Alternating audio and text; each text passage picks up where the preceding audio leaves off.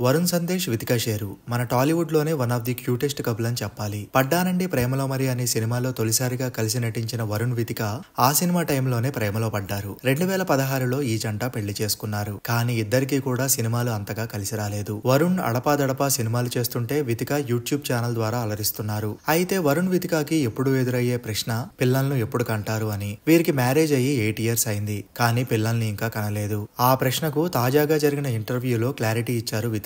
దాని వెనుక ఒక పెద్ద కథే ఉంది. అది వింటే ఎవరికైనా కళ్ళు చెమరుస్తాయి. ఆ ఇంటర్వ్యూలో నాకు పిల్లలంటే చాలా ఇష్టం. నా ఫ్యామిలీలోని అందరి పిల్లలను ఎంతో ప్రేమగా చూసుకుంటా. నాకు పిల్లల్ని కనడానికి ఎలాంటి ఇబ్బంది లేదు. రెండు వేల పదహారులో మ్యారేజ్ అయ్యాక నేను వరుణ్ యుఎస్లో సెటిల్ అవ్వాలి అనుకున్నాం. అక్కడే కొన్ని రోజుల పాటు ఉన్నాం. రెండు వేల పద్దెనిమిదిలో ఫస్ట్ టైం ప్రెగ్నెంట్ అయ్యాను. మా ఫ్యామిలీలో అందరికీ ఈ విషయం చెప్పాం. అందరం హ్యాపీగా పండగ చేసుకున్నాం. కానీ కొద్ది రోజులకే గర్భస్రావం అయింది. ఆ బాధతో ఇండియాకి వచ్చేసాం ఇక్కడికి వచ్చాక టూ మంత్స్ వరకు పీరియడ్స్ రాకపోవడంతో మళ్ళీ హాస్పిటల్కి వెళ్తే నేను ప్రెగ్నెంట్ అని చెప్పారు. షాక్ అయిపోయా. గర్భస్రావం అయిన సంగతి చెప్పా. డాక్టర్ స్కానింగ్ చేయడంతో బేబీకి సంబంధించిన ఒక చిన్న ముక్క లోపలే ఉండిపోయిందని చెప్పారు. అప్పుడు మరోసారి గర్భం అంతా క్లీన్ చేశారు అని చెప్పి ఏడ్ చేశారు వితిక. ఇది జరిగాక బిగ్ బాస్లో ఛాన్స్ వచ్చింది. బయటికి వచ్చాక కొన్ని ప్రాజెక్ట్స్ వలన బిజీ అయిపోవడం సెటిల్ అయిపోవడం వెంట వెంటనే జరిగిపోయాయి. దేవుడు కరుణిస్తే పిల్లల్ని ఎవరు వద్దనుకోరు. మళ్ళీ నా లైఫ్లో ఆ టైం వస్తే అందరికీ చెప్తా అంటూ చెప్పారు వితిక. ఈ న్యూస్ తెలుసుకున్న నెటిజన్స్. స్టే స్ట్రాంగ్ వితిక గారు